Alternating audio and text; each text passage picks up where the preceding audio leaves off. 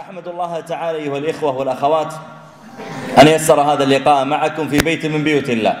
وما اجتمع قوم في بيت من بيوت الله يتلون كتاب الله ويتدارسونه بينهم إلا نزلت عليهم السكينة وغشيتهم الرحمة وحفتهم الملائكة وذكرهم الله تعالى في من عنده. فنسأل الله تعالى أن يجعلنا من هؤلاء. وأسأل الله تعالى أن يجعل اجتماعنا هذا صلاحا لنا في أنفسنا وبركة لنا في أرزاقنا وصلاحا لنا في ذرياتنا وفي نياتنا. وأسأل الله أن يجعل اجتماعنا هذا اجتماعا مرحوما وأن يجعله تقدمة لاجتماع نجتمع فيه يوم القيامة مع النبيين والصديقين والشهداء والصالحين. وحسن أولئك رفيقا.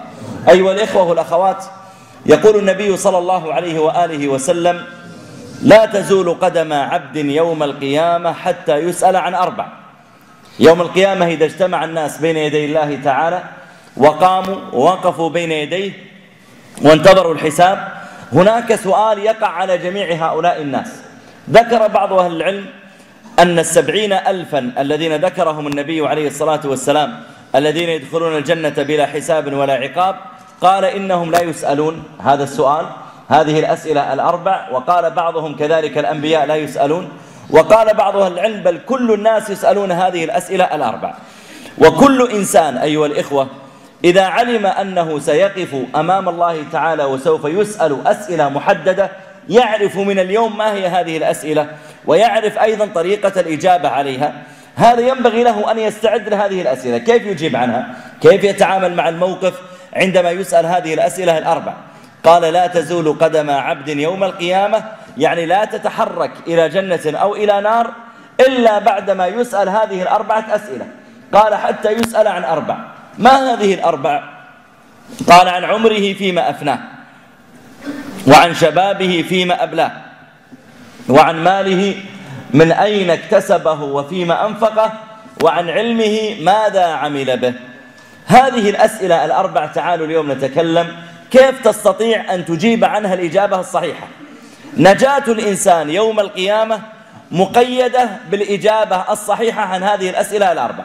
تعالوا اليوم نبحث نطرح كل سؤال منها في ربع ساعة ونتكلم عنه حتى ننتهي خلال ساعة من إجابة هذه الأسئلة الأربع. أنت إذا استعديت من اليوم لإجابة هذه الأسئلة الأربع استطعت يوم القيامة أن تجيب عنها. أول هذه الأسئلة قال عليه الصلاة والسلام لا تزول قدم عبد يوم القيامة حتى يسأل عن أربع. أولها قال عن عمره فيما أفناه. العمر هو الذي يمر على الإنسان منذ أن يولد إلى أن يموت. ولقد جعل الله تعالى أعمار أمتنا أقصر من أعمار الأمم السابقة. ولذلك نوح عليه السلام لبث في قومه ألف سنة إلا خمسين عاما. هذه فترة الدعوة فقط ألف سنة إلا خمسين عاما. فما بالك كم عاش نوح قبلها وكم عاش بعدها؟ الله أعلم كم عمره. ولذلك حتى لوط وإبراهيم وشعيب وصالح وهود وغيرهم من الأنبياء كلهم كانوا يعيشون أعمارا طويلة. إلا أمتنا جعلها الله تعالى أقصر أعمارا من الأمم السابقة. حتى ذكروا أن رجلا من السابقين أن رجلا حكيما عالما مر بامرأة تبكي على ولدها الذي مات. فسألها قال لماذا تبكين عليه؟ قالت أبكي عليه مات صغيرا ما تمتع بالحياة. قال كم عمر ولدك لما مات؟ قالت صغير. قال كم عمره؟ قالت خمسمائة عام. طبعا خمسمائة عام بالنسبة لهم قصيرة تعتبر. مثل لما تأتي مثلا إلى شخص يعيش بين أغنياء كثير فيقول لك أنا فقير لا أملك إلا مثلا خمسين ألف ريال. فتقول له بالعكس خمسين ألف ريال يعتبر رقم جيد. فيقول لا أنا بالمقارنة مع غيري لا يعتبر شيئا. فالمرأة تقول يعني أنا عمري ألفين ثلاثة آلاف سنة وأبوه عمره ستة آلاف وأخوه الكبير عمره أربعة آلاف وأبناء جيراننا ولدي فقط خمسمائة سنة ومات تقول مات صغيرا ما تمتع بالحياة. فقال لها اصبري فإنه سيأتي بعدنا أقوام أعمارهم بين الستين والسبعين.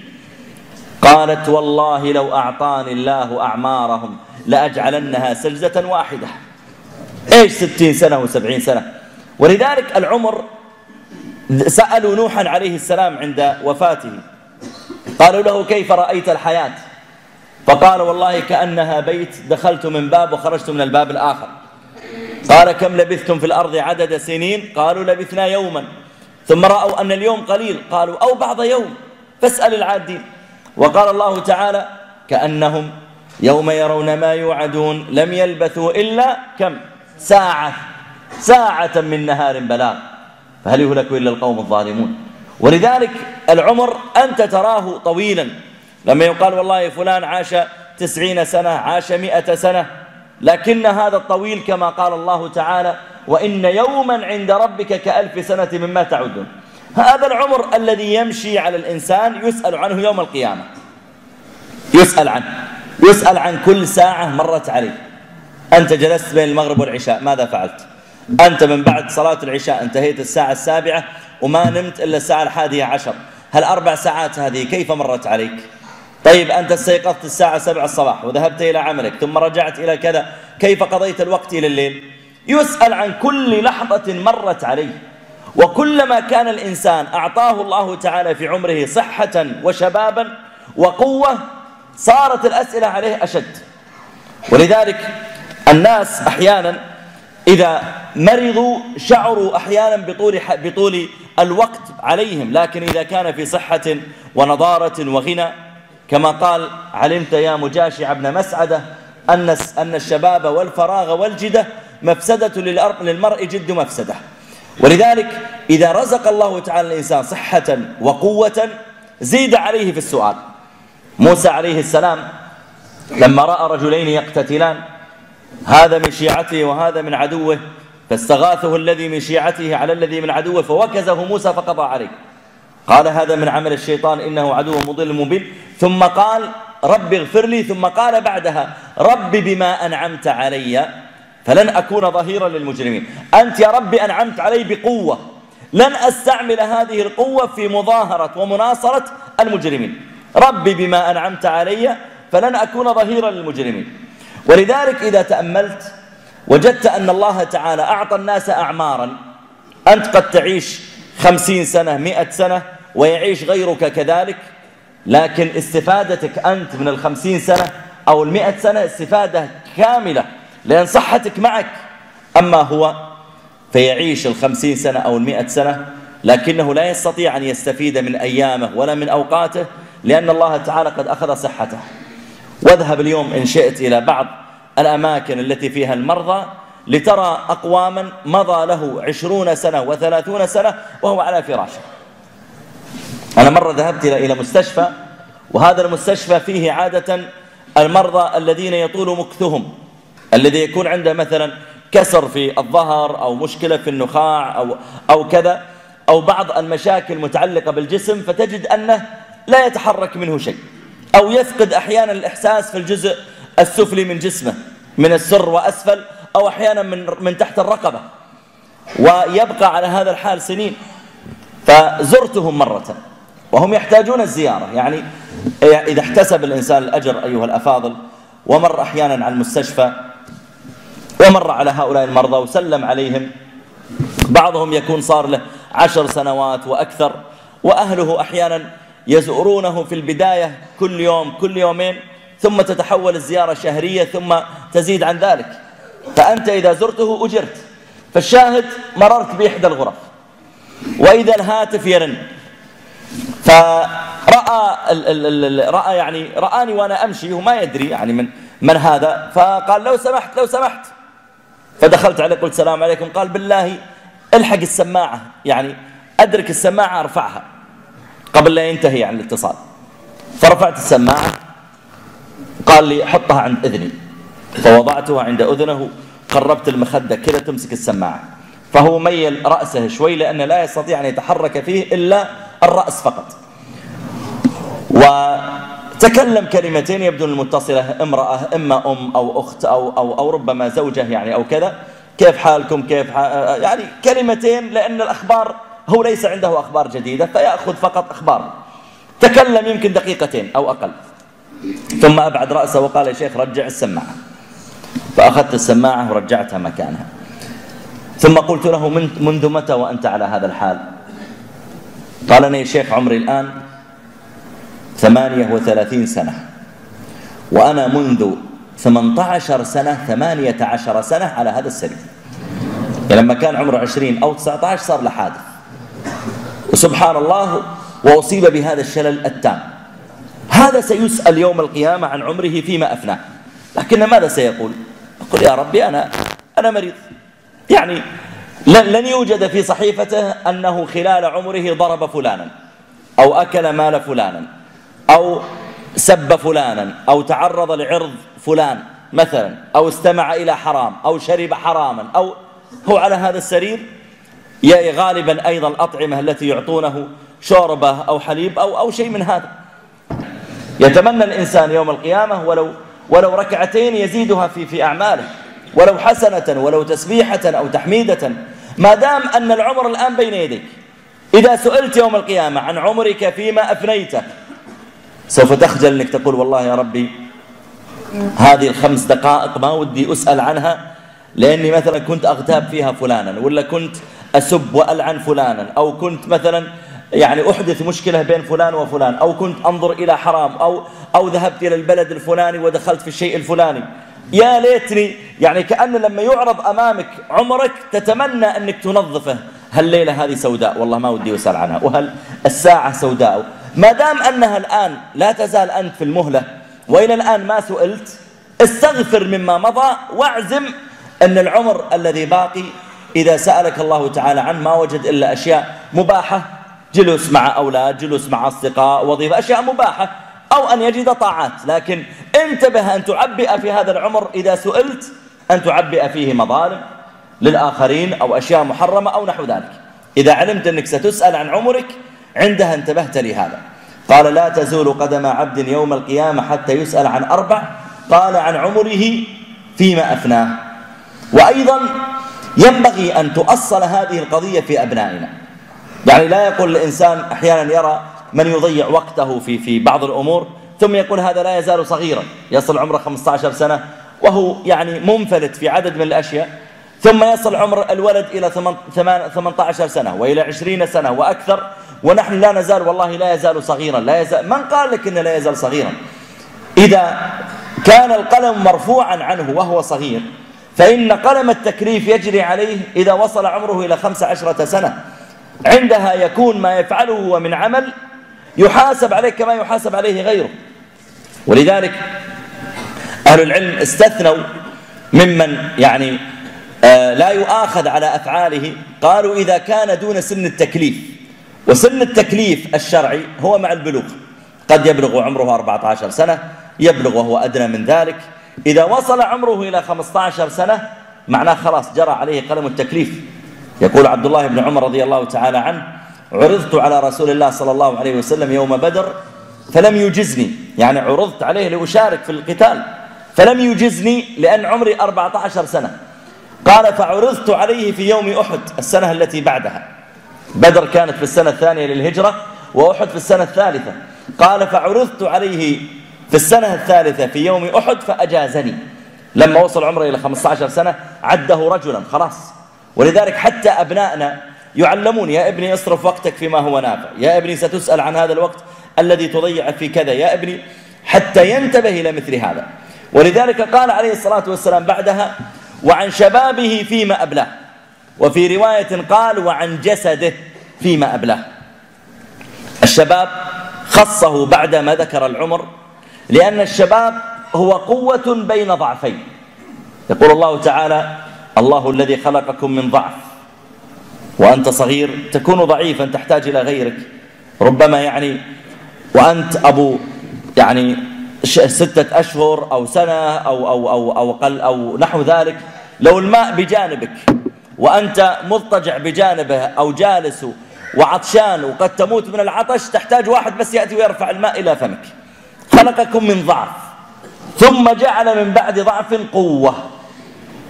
جعل يقوى الإنسان ويعتمد على على نفسه في طعامه وشرابه ولباسه وفي نومه واستيقاظه وفي في تجارته في اكتسابه. جعل من بعد ضعف قوة. الله الذي خلقكم من ضعف ثم جعل من بعد ضعف قوة ثم جعل من بعد قوة ضعفا وشيبة. يخلق ما يشاء. فكما أنك كنت ضعيفا في أول حياتك كذلك أنت سيعود إليك الضعف بعد ذلك. ولذلك الشباب الذي هو قوة بين الضعفين بين ضعف الطفولة وبين ضعف الشيخوخة هذه القوة اللي قوة الإنسان في بدنه قوة في ذهنه وفي فكره قوة في قدراته قوة في ماله في الغالب قوة في جسده قوة في كل شيء. هذه القوة هذه المرحلة يسأل عنها المرء. بالحديث الآخر قال في, في الرواية الأخرى قال عليه الصلاة والسلام وعن جسده فيما أبلاه. جسد الإنسان ألا يصرفه إلا في طاعة. أعطاك الله تعالى قوة في جسدك أو سمعا أو بصرا أو ولسانا وأنفا وعينا ونحو ذلك. لا يجوز للإنسان أن يصرفها في معصية. ولو حرم الإنسان منها لما استطاع أحيانا أن, أن يعصي الله تعالى بها. ولذلك يوم القيامة إذا رأى الكافر العذاب قال الله تعالى ويقول الكافر يا ليتني كنت ترابا. متى يقول هذا الكلام؟ يقوله أيها الأكارم إذا قضى الله تعالى القضاء بين الحيوانات. يقول عليه الصلاة والسلام يؤتى بالشاة الجماء والشاة القرناء. الجماء التي ليس لها قرن والقرناء التي لها قرنان.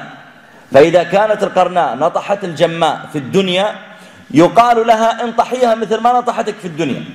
لأن هذه ما عليها حساب ولا عقاب يعني ما عليها جنة نار وأتاها رسول في الدنيا. هذا ليس لها ذلك. هذا خاص بالبشر وبالجن.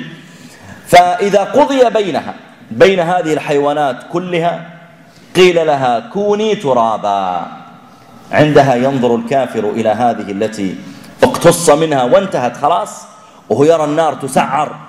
عندها يتمنى الكافر لو كان في الدنيا حيوانا حتى يكون تراب مثلها. ويقول الكافر يا ليتني كنت ترابا. لأنه يعلم أنه كلف ولم يقل بالتكليف. يوم القيامة يخشى أن بعض الناس يتمنى لو كان أعمى. لأن ما جاب له المشاكل في صحيفته إلا البصر والنظر الحرام. يتمنى لو كان أبكم. لأن ما جاب له المشاكل في صحيفته إلا اللسان. يتمنى لو كان أصم. يتمنى لو كان فقيرا ما عنده مال لأن سبب أكثر المعاصي في صحيفته الفلوس. يتمنى لو كان ما عنده منصب لأن ما جاب له المشاكل في صحيفته إلا هذا المنصب. ولذلك النبي عليه الصلاة والسلام ذكر أن الله يسأل الإنسان عن جسده وعن جسده فيما أبلاه ماذا فعلت بسمعك؟ أعطيناك سمعا. ماذا فعلت ببصرك؟ أعطيناك بصرا. ماذا فعلت؟ خاصة إذا علمت أن الله تعالى حرم منها أقواما وأعطاك أنت إياها. أنا قبل أيام قبل قرابة الشهر تقريبا كان لي محاضرة في معهد للصم. فمعهد الصم عادة إذا جئت تلقي محاضرة يضعون أمامك ميكروفون. لما جئت ألقي ما في ميكروفون. لأنهم لا يسمعوني ولا في سماعات أصلا في الصالة أيضا عندهم إنما فقط بجانبي واقف المترجم. فالمترجم أنا أتكلم بصوت عادي هو يسمعني بجانبي وهو يؤشر إشارات ويفهمونها.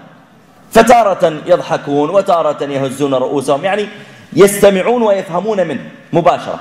وكانت أعينهم مركزة على المترجم وليس عليه. يعني ما يحتاجون ينظرون إليه ينظرون إليه. كلهم كانت وجوههم لنا. إلا واحد. والله كأني أراه الآن جالس لأن كان بعضهم على الكراسي والأرض مفروشة فبعضهم اللي ما له مكان جالس على الأرض. هذا الشخص قد أعطاني ظهره ووجهه الواحد من هؤلاء الصم. والأصم يؤشر ويحرك يده على هذا الشخص وأنا مستغرب ليش هذا معطيني ظهره. طيب على الأقل انظر للمترجم. إذا أنت ما تنظر إلي. فلما انتهينا بعد ساعة سألت المترجم قلت يا أخي هذا ليش معطينا ظهره طول المحاضرة؟ قال هذا لا يسمع ولا يتكلم ولا يرى. كل الثلاث هذه ليست عنده. الموجودين لا يسمعون ولا يتكلمون لكنهم يرون. فهم عبر الإشارة يفهمون.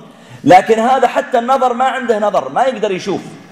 طيب كيف يستطيع أن يفهم؟ هذا يفهم باللمس.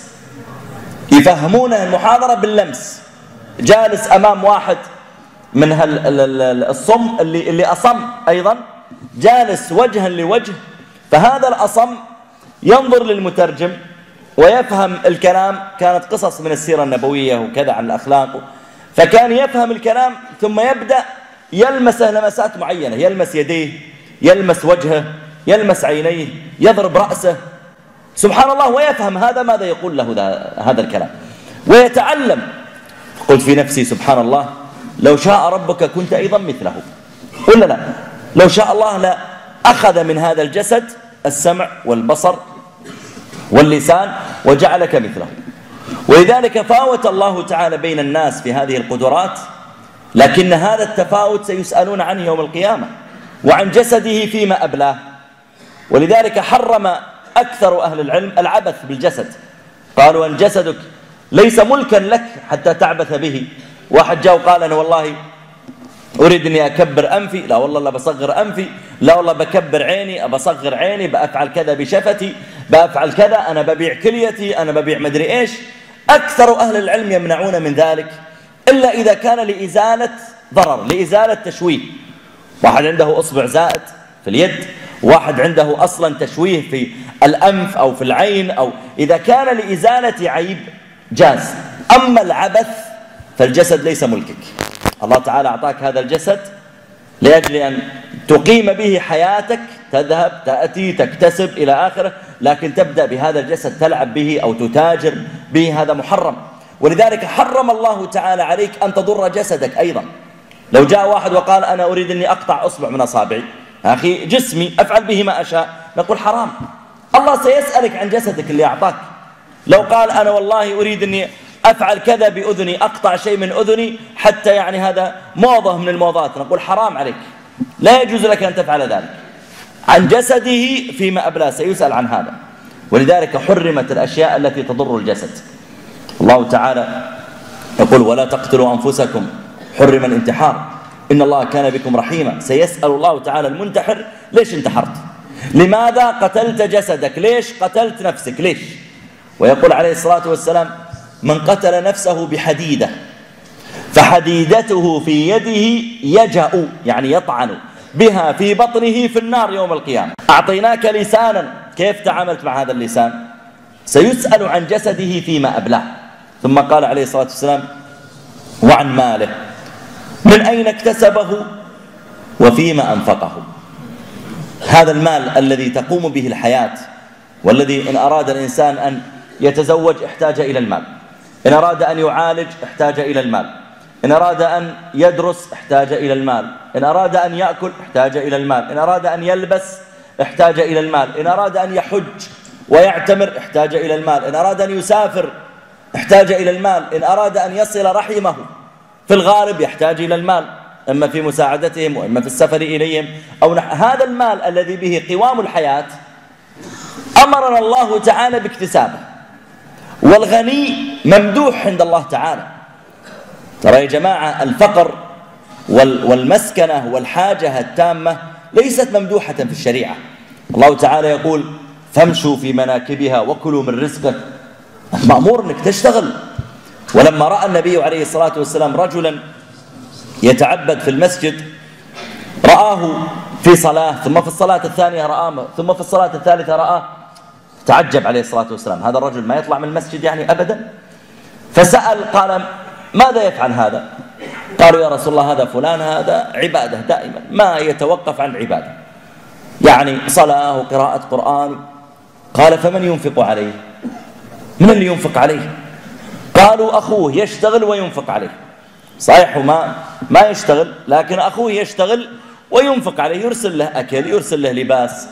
فقال عليه الصلاة والسلام أخوه خير منه. إذا الشريعة ما أمرتك أنك تصحى من النوم وتمسك المصحف إلى الليل. اطلع واشتغل مثل الناس. النبي عليه الصلاة والسلام وهو بنفسه قبل النبوة عليه الصلاة والسلام كان يشتغل كان يرعى الغنم لأهل مكة وكان يشتغل بالتجارة عليه الصلاة والسلام. والصحابة رضي الله عنهم كذلك. حتى إن أبا بكر لما تولى الخلافة كان قبل أن يكون خليفة كان تاجرا يشتغل في السوق ويذهب ويأتي ويبيع ويشتري. فلما توفي النبي عليه الصلاة والسلام وتولى أبو بكر الخلافة خرج من غد إلى السوق معه صندوقه فجاء عمر قال إلى أين أبا بكر؟ قال والله بطلع أشتغل في السوق. قال طيب إذا جاءوا الناس يحتكمون عند الخليفة يذهبون يبحثون عنك في السوق مفترض أن الخليفة يستقر في مكان اللي عنده الشيء يريد الخليفة يأتي إليه. يذهبون يبحثون عنك في السوق. قال فمن أين يأكل أولادي؟ إذا أنا توقفت عن التجارة. من أين يأكل أولادي؟ قال كم تربح كل يوم؟ كم يكفيك؟ قال يكفيني درهم. أشتري خبز وطعام. قال فنصرف لك كل يوم درهما ودانق. دانق يعني زيادة شوي على الدرهم مثل نصف الدرهم أو ربع الدرهم. فكانوا يشتغلون. ما قال الخليفة والله أنا خليفة. لا يبقى أن الاشتغال والعمل يعتبر أجرا وطاعة.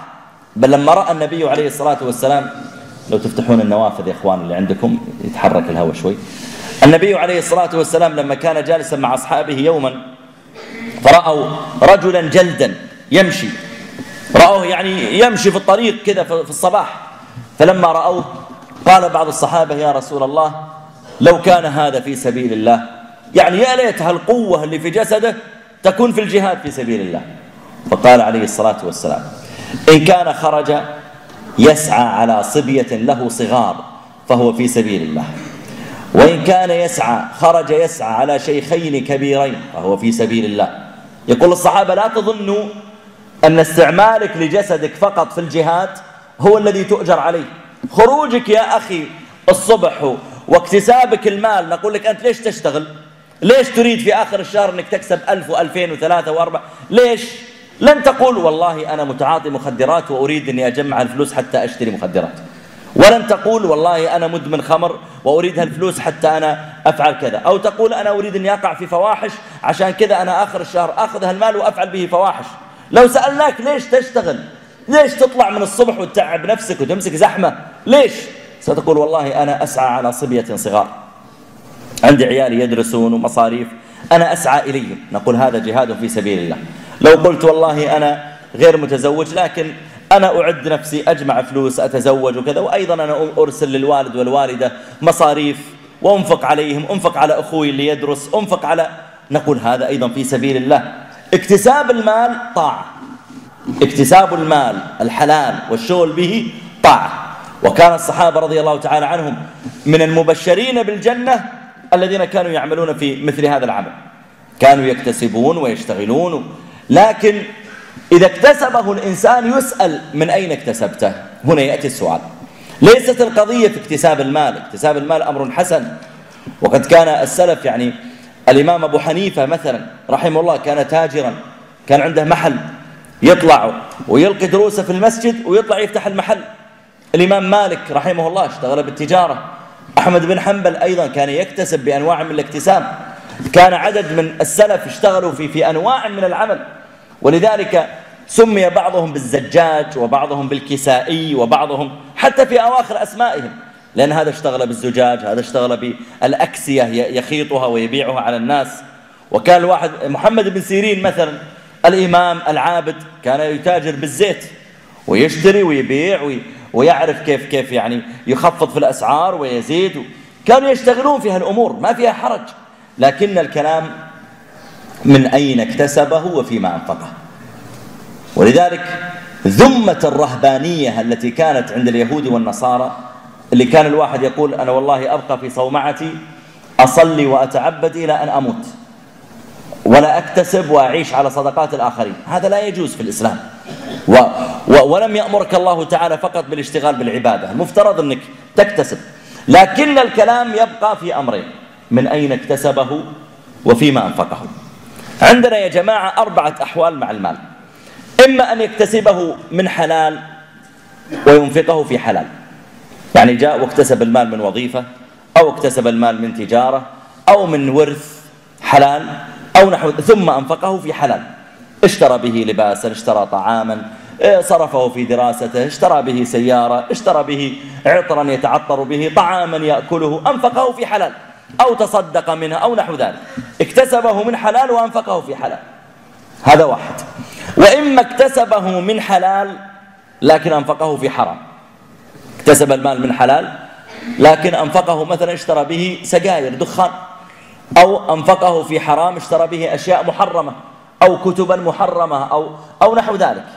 الحالة الثالثة أن يكتسبه من حرام وينفقه في حلال. يعني جاء اكتسب المال بالربا أو اكتسب المال بالغش أو بالسرقة أو نحو ذلك لكنه أنفقه في حلال أنفقه على أولاده أنفقه على, على, على طعامهم أنفقه في تسديد الإيجار ونحو ذلك.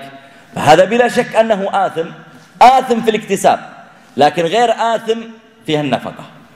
ولذلك قالوا المال الحرام النبي عليه الصلاة والسلام يقول يقول إن الله طيب لا يقبل إلا طيبا.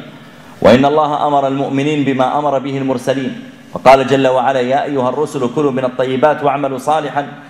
وبين النبي صلى الله عليه وسلم أن الله تعالى طيب لا يقبل لا يقبل صدقة إلا الشيء الطيب.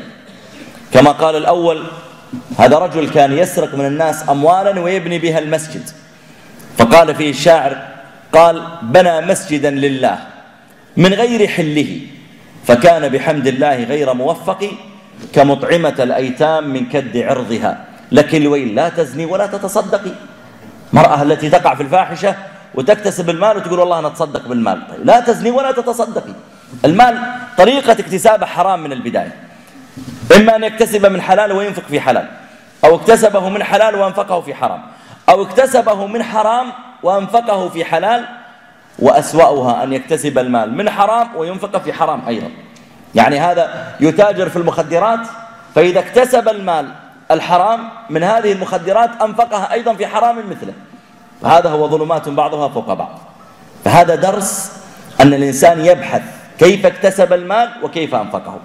أقبل سعد بن أبي وقاص إلى النبي عليه الصلاة والسلام.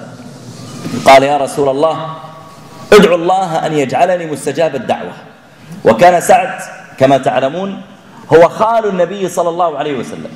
وكان النبي صلى الله عليه وسلم يفتخر به ويقول هذا خالي فليرني امرؤ خاله. كان يقول وروني خوالكم ها؟ عندكم خال مثل خالي؟ يفتخر به. وسعد رضي الله عنه كان من أوائل من دخل في الإسلام. يقولون فسعد رضي الله عنه جاء إلى النبي صلى الله عليه وسلم قال يا رسول الله ادعو الله أن يجعلني مستجاب الدعوة. فأعطاه النبي عليه الصلاة والسلام قاعدة.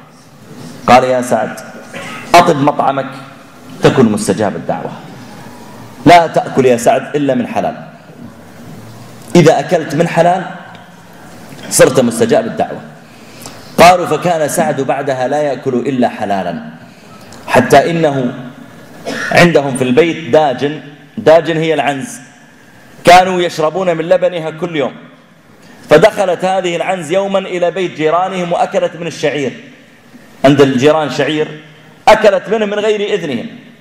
فلما علم سعد بذلك امتنع أن يشرب من لبنها. قال أخشى أن يكون اللبن تخلق من ذلك الشعير الذي أكلته من غير حلة. شوف تشديده كيف كان على نفسه. أبو بكر رضي الله تعالى عنه كان عنده غلام مملوك يرسله كل يوم ليشتغل. فإذا جاء آخر اليوم جاء لأبي بكر بمال أو جاء بطعام أو نحو ذلك. اليوم يذهب ويشتغل بناء غدا راح واشتغل. مثلا يستخرج ماء من البئر. اليوم اللي بعده واحد عنده حصاد جاء وساعده بعدين أعطاه شوية شعير مثلا أو تمر أو نحو ذلك. كل يوم يشتغل ويأتي بالمال إلى أبي بكر. فيوم من الأيام تأخر على أبي بكر. فجاءه متأخرا ومعه طعام خبز وكذا وضعها بين يدي أبي بكر. هذا غلة اليوم. قال أبو بكر ما شاء الله وأخذه بدأ يأكل. فقال له يعني هذا عشاءه فقال أخبرني اليوم إيش اشتغلت؟ قال اليوم ما في شغل اليوم راحة. قال فمن أين الطعام؟ قال كنت قد تكهنت لقوم في الجاهلية. في الجاهلية قبل مثلا ثمان سنوات سبع سنوات قبل بعثة النبي صلى الله عليه وسلم جاءني قوم وعملت لهم كهانة. قالوا إيش تتوقع أن يحصل؟ قلت والله أنتم ستفعلون كذا؟ يقول وأنا لا أعرف كهانة لكن أعطيتهم من رأسي كذا كلام. فوعدوني أن يعطوني أجرا. على كهانتي وعدوني أن يعطوني أجرا. فمررت بهم اليوم. وإذا عندهم عرس. فمررت وقلت ها أنتم ترى أنا أطلبكم أجر عن, عن كهانتي قبل كذا سنة. قال فأعطوني من طعام العرس. قال أبو بكر أعوذ بالله. يعني هذا أجرة كهانة. كهانة مثل الشعوذة وادعاء علم الغيب. هذه أجرة كهانة؟ قال نعم. قال أفلا كنت أخبرتني؟ ثم جعل أبو بكر يضع إصبعه في حلقه ليخرج اللقمة. قالوا يا يعني يا أبا بكر يعني لماذا تشدد على نفسك؟ قال سمعت النبي عليه الصلاة والسلام يقول كل لحم نبت من سحت فالنار أولى به. فوالله لو لم تخرج مع إلا مع نفسي لأخرجتها طبعا بالمناسبة الذي فعله أبو بكر رضي الله تعالى عنه ليس أمرا واجبا. يعني الواحد لو أكل يعني عفوا بعض الناس مثلا ربما يكون في بعض البلدان ويأتي ويطلب طعام طلب مثلا سلطة ولا طلب بيتزا أو كذا من, من مطعم. وقال له هذه البيتزا ما فيها ليست لحم خنزير؟ قال لا لا ما هو بلحم خنزير هذه خضار مثلا. ثم أخذتها أو سندويش أو كذا. فلما أكلت شعرت بطعم. ثم قمت وسألته مرة ثانية. قلت أنت متأكد ما فيها لحم؟ قال إلا بس ترى لحم قطع صغار ولا هي خضار لكن قطع صغار من الخنزير. وأنت قد أكلت منها لقمة أو لقمتين. شرعا ما يجب عليك أن نقول لك يعني اجعل أصبعك في حلقك حتى تخرجها. خلاص ما دام أنك لم تعلم بذلك وأكلتها وهي على هذا الحال عفى الله عما سلف. المهم لا تكمل الباقي يعني. ما دام أن, أن الذي ذهب ذهب خلاص. ولا تؤاخذ عليه ما دام أنك لا تعلم بهذا. وهذا أمر معروف يعني مستقر. لكن الذي فعله أبو بكر رضي الله تعالى عنه هو من شدة ورعه وخوفه. من شدة الورع والخوف وإلا فلا يجب. لكن الإنسان ينظر من أين اكتسب المال من حلال أم من حرام وأيضا فيما أنفق هذا المال. خاصة إذا كان المرء يعني ينفق على أولاده ينفق على نفسه ينفق على والديه. كان بعض السلف إذا أراد أن يخرج قالت له ابنته يا أبتي لا تكتسب إلا من حلال فإنا نصبر على حر الجوع ولا نصبر على حر النار. يقول عليه الصلاة والسلام هنا ويسأل عن ماله من أين اكتسبه وفيما أنفقه. قال وعن علمه ماذا عمل به. هذا هو السؤال الأخير. المعلومات التي عندك ماذا عملت بها؟ يعني مثلا سمعت قول النبي صلى الله عليه وسلم إذا أكل أحدكم فليأكل بيمينه وإذا شرب فليشرب بيمينه. طيب هل أنت تعمل بها تعمل بهذا العلم؟ سمعت مثلا أنه صلى الله عليه وسلم مثلا قال الغيبة ذكرك أخاك بما يكره. طيب هل أنت فعلا تطبق هذا؟ أنت أخذتها المعلومة. قرأتها في كتاب أو, أو سمعتها في محاضرة أو, أو سمعتها من الخطيب. عندك معلومة وصلت إليك. هل أنت تطبقها في حياتك؟ أم أنها ستكون حجة عليك؟ يعني كون الإنسان يا جماعة ما يعلم يأتي الواحد يوم القيامة ويلقى الله وهو مثلا في الدنيا كان مثلا عفوا يأكل لحم الخنزير فلما لقي الله قال يا ربي أنا ما دريت أنه حرام. أنا أسلمت في في مجتمع جاهل وكذا ما كنت أدري أنه حرام أصلا. هذا لا يؤاخذ عليه لأن الله تعالى يقول وما كنا معذبين حتى نبعث رسولا. لكن الكلام يا جماعة في من علم العلم ثم تعمد أن يخالفه. أو لم يعمل به. أو الكلام في من يدعي أيضا العلم. كما أنه لا يجوز للإنسان أن يخالف العلم الذي تعلمه. كذلك لا يجوز أن يدعي علما هو لا يعرفه مثل الذي يفتي بغير علم. كما ذكروا أن رجلا كان يريد أن يكون له سيادة وظهور ومنصب فلم يجد هذا عند قومه. قومه عندهم علماء وعندهم ولاة وعندهم أمراء وعندهم قادة وشجعان. فما استطاع أن يكون رأسا بينهم. قالوا فخرج إلى قرية من القرى. ودخل وعلم أنهم يحتاجون إلى عالم. يعني ما عندهم إمام ما عندهم شيخ. فقال أنا بكون شيخهم. خلاص أنا بصير العالم حقهم. ودخل وبدأ يظهر عندهم أنه عالم وأنه مفتي وكذا. فصاروا كلما سألوه في مسألة أعطاهم الجواب. وساق لهم حديثا من تأليفه من رأسه. يعني مباشر يقول لهم قال صلى الله عليه وسلم كذا ويكذب يأتي بالأحاديث من رأسه. فاجتمع قوم من عقلائه. قالوا هذا الرجل إما أنه عالم كبير قد جاء الله تعالى به إلينا وهذا يعني كرم نزل علينا لا نستحقه. أو أن هذا الرجل كذاب يحتال علينا ويتظاهر بالعلم وهو أجهل الناس. طيب كيف نختبره؟ طبعا هم ما عندهم معلومات أصلا يعني ما يستطيعون يقولون له مثلا آه، هل الحديث هذا من رواه البخاري ولا مسلم؟ هل لأنهم هم أصلا ما عندهم معلومات عن البخاري ومسلم أساسا. مثل أنت لما تكون مثلا ما تعرف إنجليزي وتأتي إلى شخص يدعي أنه يعرف الإنجليزية ثم تسأل كلمة بالعربي تقول مثلا باب ما معناها؟ فيضرب لك كلمة من رأسه بالإنجليزي.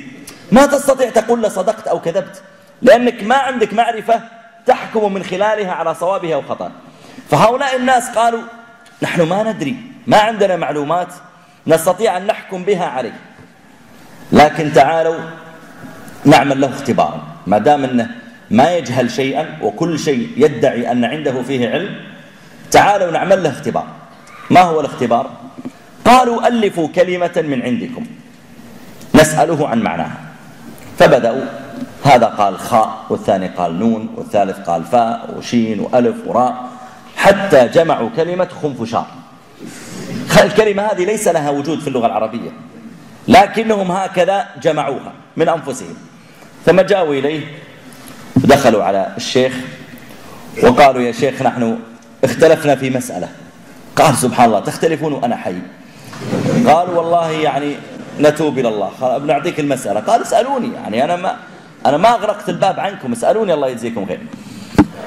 قالوا ما معنى كلمة خنفشار فقال آه هذه المعلومة قديمة هذه قرأتها وأنا شباب. قالوا طيب أعطنا معناها. قال الخنفشار هذا نبات ينبت في جنوب اليمن. شوف يحدد بعد عشان يكون معلومة دقيقة. قال هذا نبات ينبت في جنوب اليمن. إذا أكلته الناقة أو البقرة أو العنز أمسك اللبن في ضرعها يعني صار عندها إمساك حليب. يعني يصبح الحليب ما يحلب لمدة يوم يومين يغلق يعني الثدي ما ما تنحلب خلاص. إذا أكلته الدابة أمسك اللبن في ضرعها ما ما تنحلب. ولذلك الذين يبيعون النوق أو البقر أو كذا حتى يغش ويظهر للمشتري أنها تنتج حليبا كثيرا يطعمها من الخنفشار حتى ينعقد اللبن يمسك اللبن في في ضرعها يومين وثلاثة فلما يدخلها السوق يكون ضرعها كبير مليء باللبن. طبعا هذا كله كلام فضيلة الشيخ يعني لهم. ثم قال وهذا معروف عند الفقهاء وعند كذا وقد ذكره الشعراء في أشعارهم. من ذلك قول الشاعر لقد عقدت محبتكم فؤادي كما عقد الحليب الخنفشار. لقد عقدت محبتكم لله ما أكذبه. سبحان الله. وأسرع بديهته. لقد عقدت محبتكم فؤادي كما عقد الحليب الخنفشار. ثم قال وفيها حديث كثيرة. من ذلك ما حدثني به فلان. ويجيب رجال عمرهم ما سمعوا به. فلان عن فلان عن فلان. أن رسول الله صلى الله عليه وسلم قال فلما وصل إلى هالمرحلة بيكذب على النبي صلى الله عليه وسلم أقبلوا عليه وضعوا أيديهم على فمه قالوا اتق الله أنت كذبت على أهل اليمن وكذبت على الحيوانات وكذبت على الباعة وكذبت على الفقهاء وكذبت حتى على الشعراء وعلى العشاق وبتكذب على النبي صلى الله عليه وسلم. فيعني أخرجوه من بينهم. فهي المسألة هنا إما أن يدعي الإنسان علم ما لا يعلم أصلا ليظهر عند الناس شيئا وسوف يسأل عن هذا.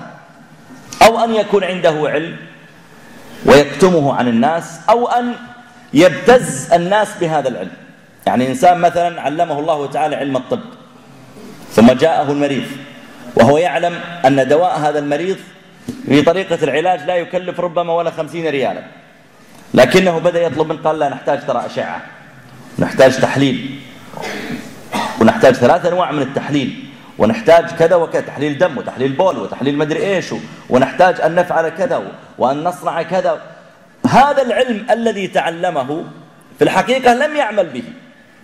لأن العلم الذي تعلمته علم الطب يقتضي منك أنك تكشف على حرارته وتقول عندك إنفلونزا وهذا هذا العلاج وخلصنا كونك تأخذ ثلاث أو أربع مراحل وأنت لا تحتاج إليها ستسأل عن ذلك. وعن علمه ماذا عمل به؟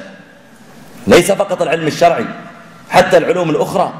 يعني سيسأل عنها الإنسان علم واحد يشتغل محاسب واحد يشتغل طبيب واحد يشتغل معلم واحد أي مهندس أي نوع من أنواع العلم. وعن علمه اللي أعطاه الله تعالى ماذا عمل به. ولذلك حتى الذين يصنعون أشياء لقتل البشرية بعض من عندهم معلومات في الكيمياء والفيزياء وغير ذلك يصنعون الأسلحة التي تدمر الناس وتقتلهم أو يصنعون بعض الفيروسات التي يتعمد أنها تبث في بعض المجتمعات لأجل مثلا يعني هو نوع من الحرب الفتاكة عليهم الحرب الفيروسية أو الجرثومية أو نحو ذلك. كل من يعمل بهذه الأشياء العلم الذي أعطاه الله ماذا عمل به؟ علما في الهندسة ماذا عملت به؟ والأعظم من ذلك العلم الشرعي. أعطيناك العلم الشرعي ماذا عملت به؟ هل بخلت به عن الناس؟ واحد أعطاه الله تعالى قدرة على حل المشاكل مثلا بين الناس حل المشاكل الزوجية وجاء واحد واستشاره في قضية وأنت تعرف الحل وتعرف الأسلوب الذي يستطيع أن يحل به مشكلته لكنك ودك أنك تدمر بيته وتريده أن يطلق زوجته ويتفلت أولاده. فتكتم عنه هذا العلم ستسأل عن ذلك يوم القيامة. أو سئل إنسان عن شيء يتعلق بالشريعة. حكم من الأحكام الشرعية يتعلق بالصلاة يتعلق بالزكاة بغيرها سيسأل عنه المرء. والنبي عليه الصلاة والسلام يقول في الحديث الصحيح يقول من سئل عن علم فكتمه. أي علم نافع ليس فقط العلم الشرعي. من سئل عن علم فكتمه. ألجمه الله بلجام من نار يوم القيامة. اللجام كما تعلمون هو اللجام الذي يوضع على الفرس. فإذا كان كتم العلم الذي سئل عنه قال ألجمه الله بلجام من نار يوم القيامة. قال عليه الصلاة والسلام هنا وعن علمه ماذا عمل به. العلم أيضا يقتضي النصح للآخرين. أنت عندك معلومات أن هذه الطريقة حرام. طريقة من طرق البيع أو, أو قرض من قروض البنك أو, أو شيء معين. تعلم أن هذا حرام. وقرأت في فتوى إذا أنت عندك العلم. ثم رأيت أن فلانا يتعامل بها. شرعا يجب عليك أنك تنبهه عن علمه ماذا عمل به. رأيت فلان فرضا يتساهل بمثلا الغيبة يتساهل بالتعامل السيء مع والديه أو, أو يتساهل بتأخير الصلاة عن وقتها. يصحى الصبح الساعة سبع سبعة ونص يطلع للدوام يصلي الفجر وهو ماشي. أنت عندك معلومات وأحاديث أن هذا حرام. يجب عليك شرعا أنك تنبهه إذا يدخل في هذا النص أيضا وعن علمه ماذا عمل به يدخل فيه النصح للناس. الدعوة. يدخل فيه الأمر بالمعروف. يدخل فيه النهي عن المنكر. هل استغليت هذه المعلومات الشرعية في الخير وفي دعوة الناس أم استغليتها في غير ذلك؟ هنا يقول عليه الصلاة والسلام يسأل عن أربع ختمها بهذه بهذه العبارة وعن علمه ماذا عمل به. أسأل الله سبحانه وتعالى أن ينفعنا وإياكم بما سمعنا وأسأل الله تعالى أن يعيننا على الوقوف بين يدي ربنا جل وعلا وأن يجعلنا وإياكم باركين أينما كنا. الإخوة في مؤسسة راف عندهم وقف اسمه وقف الوالدين. جزاهم الله خير يجمعون له لأجل آه، بنائه. فيمكن الإنسان أن يتبرع لهم موجود هنا مكان للتبرع يعني لي آه، حتى لو نوى الإنسان لو نوى أن أجره لوالديه ونحو ذلك إن شاء الله تعالى أن أجره يصل. أسأل الله سبحانه وتعالى أن كما جمعنا في هذا المسجد المبارك في بيت من بيوته وحللنا ضيوفا بداره جل وعلا أسأل الله تعالى أن يجعلنا في جنته. وأسأل الله تعالى أن يرزقنا جميعا عيش السعداء. اللهم إنا نسألك عيش السعداء. وموت الشهداء والحشر مع الأتقياء ومرافقة الأنبياء. ونعوذ بك ربنا من جهد البلاء ودرك الشقاء وسوء القضاء وشماتة الأعداء. اللهم إنا نعوذ بك من زوال نعمتك وفجاءة نقمتك وتحول عافيتك وجميع سخطك اللهم اغفر لنا ولآبائنا وأمهاتنا. اللهم من كان منهم حيا فمتعه بالصحة على طاعتك واختم لنا وله بخير. ومن كان منهم ميتا فوسع له في قبره وضاعف له حسناته وتجاوز عن سيئاته واجمعنا به في جنتك يا رب العالمين. اللهم أصلح نياتنا وذرياتنا. اللهم احفظ أولادنا من صحبة الأشرار. اللهم احفظهم من صحبة الأشرار. اللهم اجعلهم بنا بارين ولأعيننا قارين يا رب العالمين. اللهم يا حي يا قيوم إنا نسألك أن لا تدع من بيننا ولا من أحبابنا مريضا إلا شفيته ولا عقيما إلا ذرية صالحة رزقته. ولا تدع من بيننا من له حاجة يسألك إياها دائما إلا قضيت له حاجته. يا عظيم المن يا كريم الصفح يا حسن التجاوز يا واسع المغفرة يا باسط اليدين بالرحمة. اللهم كن لإخواننا في كل مكان. اللهم كن لإخواننا في بلاد الشام. اللهم كن لإخواننا في بلاد الشام. اللهم اكشف عنهم الضراء والبأساء. اللهم اجعل الدائرة لهم على عدوك وعدوهم. اللهم اشف مرضاهم وفك أسراهم وارحم موتاهم وتقبل شهداءهم ووحد على الخير صفوفهم. يا رب العالمين يا ذا الجلال والإكرام. اللهم وكل أهلنا وإخواننا في اليمن وفي العراق وفي فلسطين وفي مصر وفي كل أرض من أرضك يا رب العالمين. اللهم اجمع كلمة المسلمين على الخير والهدى. اللهم اجمع كلمتهم على الخير والهدى. يا رب العالمين يا ذا الجلال والإكرام. اللهم احفظ قطر, قطر وأهلها من كل سوء. اللهم اجعل رزقهم دارا وعيشهم قارا. اللهم من أرادهم بسوء أو بلية فرد كيده في نحره. يا رب العالمين يا ذا الجلال والإكرام. اللهم صل وسلم على عبدك ورسولك محمد وعلى آله وصحبه أجمعين. إن أعجبك الفيديو لا تنسى الضغط على زر أعجبني ومشاركة الفيديو. ولكي يصلك كل جديد اشترك في قناة